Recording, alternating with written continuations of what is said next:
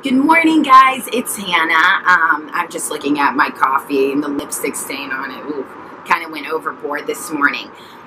So, an interesting fact about me is that I actually gave my high school graduation speech, and I'm 17, 18 years old, you know, talking to my fellow peers about these ideas that we've been taught give us meaning in life. You know, getting a college degree, you know, knowing what we want to do in life, finding the perfect person to be with, having kids, following this straight line.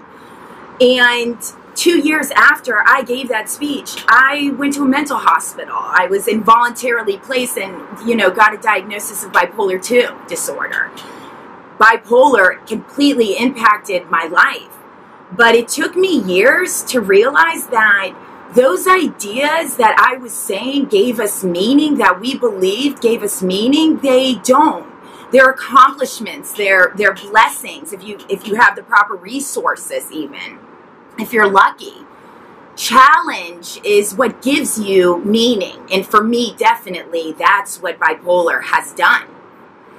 Bipolar means that I'm different, that I have a mind that doesn't fit the standard guidelines of what's acceptable in society. Bipolar dis- disorder does not mean I'm a bad person. In fact, it's the opposite. I have extreme empathy, and I think I'm a colorful person and, and a kind person, but man, I face a lot of stigma, and that sucks. It influenced my path, it influences my path, my work, my passion, and it's also my biggest struggle and my biggest challenge that I face on a daily basis but I believe we fight against it. I feel like, because I felt like this for so long after I got diagnosed, that we want to say out loud, right? I'm okay.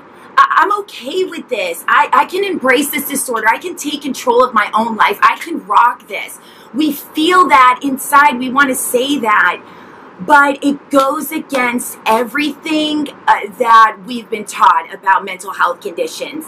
It's those are the words that do not define or give meaning to bipolar disorder. And it was not until I was able to define it on my own terms and figure out what it meant to me that I could finally let the light in and see the positive side of it you know and i hope for everybody watching or anybody that's not watching even that that's what i can help you do as well to give you that strength to kind of go against what's ingrained in us that it's bad bad because it's not.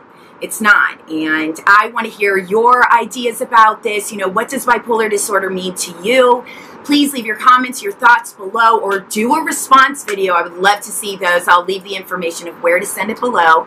And of course, I can't wait to see you next week. Okay, have a great morning. Bye.